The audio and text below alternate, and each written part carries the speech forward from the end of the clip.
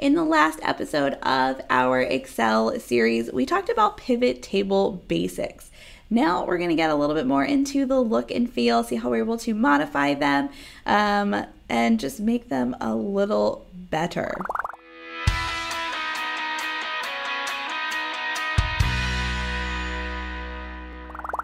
I'm Allison Gonzalez, a Microsoft certified trainer here at Pragmatic Works, back with another Excel basic for you. So let's get over into Excel to get started. In our last pivot table video in this Excel series, we went over setting this up and we went over getting this pivot table, moving it around, moving around, and setting up our data.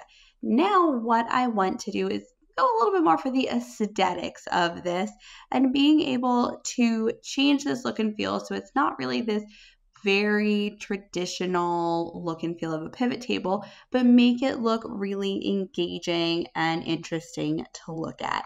So, I'm going to give you my favorite tips and tricks to do this. First off, easiest thing you can do, click into that pivot table anywhere. You're going to notice you get these pivot table analyze and design tabs here at the top. These are where I want you to get comfortable moving around and trying these things out. And we're going to try out a bunch of things in these tabs today in your design tab, we're going to go over to this one first. And we have an entire section here of all of these great different designs. So if you want to put minimal effort into this, picking one of these is going to elevate your pivot table design with really minimal work for you. So there's light, there's medium, and there are dark ones. And so you can really play around with kind of the style that you like the best tons and tons of different options in here. I'm going to go with this blue one, kind of close to the Pragmatic Works colors. So we're going to use this blue one here. This is fine, but let's make some options here. Let's kind of design this, get some more space around this. So first off, to kind of space out my sections a little bit, here again in my design tab, I'm going to add some blank rows. So in this blank rows, I'm going to insert a blank line after each item. And it's going to insert it after the item space that I put it. So I've selected the last item in a section. So when I do that, notice it's added not just after this first top section, but also after soups and salads, the last one in the food section. If I had, you know, more sections, the same, it would keep adding it after that last one. So I like this, it kind of spaces out my sections a bit more so that way uh, gives it some breathing room, lets your eye rest as you're moving through here. You're also over here able to, if you want to move your subtotals, which is my top row right here, if I want to move that, I can either not show it at all if I want to get rid of those numbers. I can decide to show it at the bottom instead or back up at the top where it was. But you can play around with that, get the look that you want with this. I'm going to remove those for mine. You're also able to remove the grand total. So you can see that you can have it off for rows and columns or on, or just on for rows or on for columns. So you can really decide which way you want to go. I can see I have it on. There is it turning off. And there, if I had it just on for rows or on for columns only, I could see how that would work. So I'm going to turn both of those back on. You're also able to play around with that pivot style option if you want to have banded rows, if you want to, or banded columns. Definitely think you don't need banded rows and columns. It looks a little bit too much like a spreadsheet and we want a little bit more professional look here. So I'm going to go ahead and take those bands off. And of course, the band style is dependent also on the pivot table design style that you chose as well. Next thing that I want to do is I want to set up some conditional formatting. So for this grand total row, I'm going to do some formatting for this one. So I'm going to select the elements in here and then I'm going to go over to home. Then I'm going to go to this conditional formatting button. And here in this conditional formatting button, I want to add data bars. There's a few other options, but we're going to go with data bars. Icon sets is another cool one that you're able to add in. we're going to go with data bars and we can see the different options that I can go in. I can just hover over and I can see these kind of color related. I kind of wanted the blue one that goes with my color palette. And I can see that this one is a gradient and I can see it covers it partially. So obviously the really large numbers get full the most. And then, or we have a solid. So I can have the gradient or the solid, whichever one I like best, like this gradient one. I could also, in that same conditional formatting tab, go down to the bottom of this instead for my data bars and go to more rules.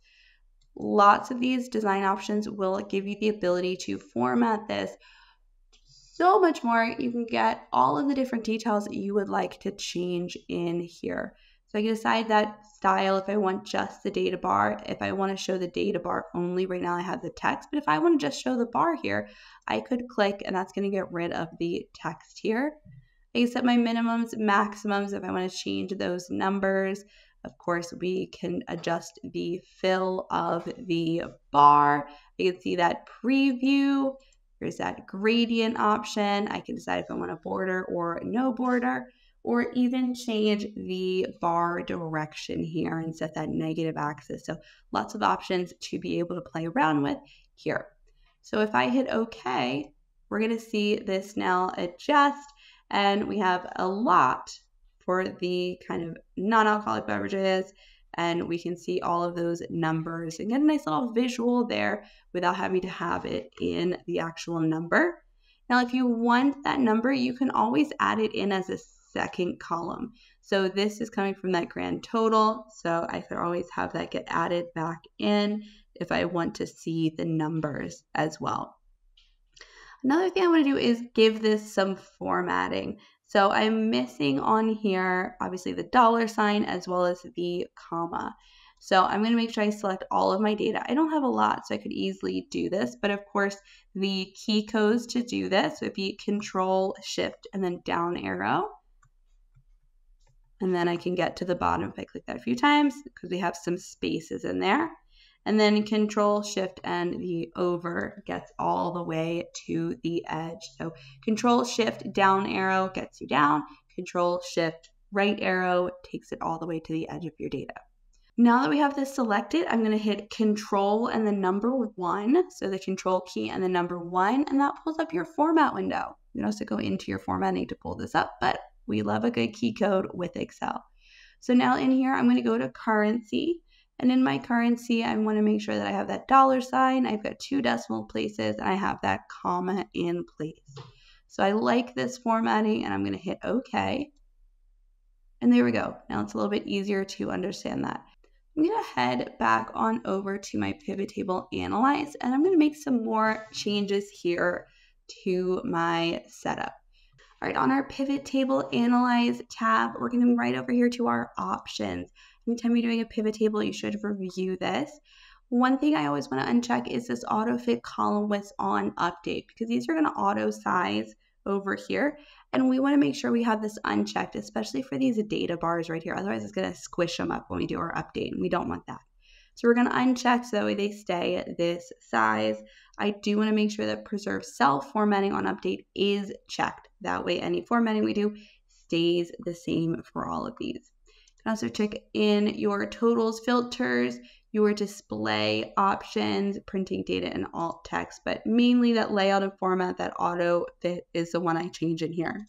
Next, here in our pivot table analyze, to change this look and feel, I'm going to come over here to this show section all the way at the end. First off, I'm going to deselect the field headers. And as I check, un say uncheck that, you can see it's disappeared right over here. Again, you can check it, see that column label, row label, and then we can uncheck it and it clears that out, makes it much easier to read. I'm also going to get rid of my plus and minus buttons. You can see that's the kind of collapse buttons right here next to our headings.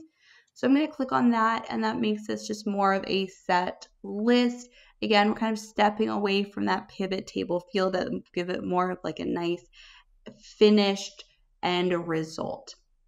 One other thing that can help do that is, of course, remove our field list. So this is my pivot table fields right here, and I can click to remove that. So it kind of takes it out of that pivot table editing field and gives you that finished look. Of course, if you need to make changes, you can bring it back at any time or just remove that field list by clicking in that show section here. Then we can really just go through and make any other modifications we need. So let's say I want to bold these headers, can select to bold those, make them a little bit larger.